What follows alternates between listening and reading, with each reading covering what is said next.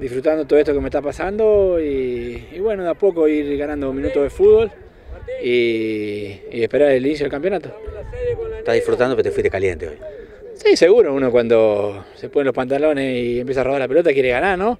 No pudimos, eh, pero bueno, esto, esto nos sirve para seguir, para seguir trabajando, para seguir mejorando, para llegar de la mejor manera al campeonato. Vamos a decir Antigua, ¿cómo está de esa lesión?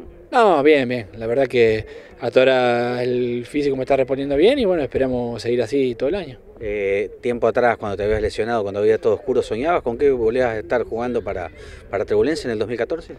Y soñar, siempre tenía ese sueño de operarme y poder volver a jugar. La verdad que, que estoy haciendo un sacrificio muy grande y bueno, la verdad que siempre me ayuda mucho la gente, los chicos, el cuerpo técnico está ahora, los dirigentes, todo. La verdad que, que por ahí me debo un poco a ello y la verdad que tengo muchas ganas de seguir jugando, ¿no?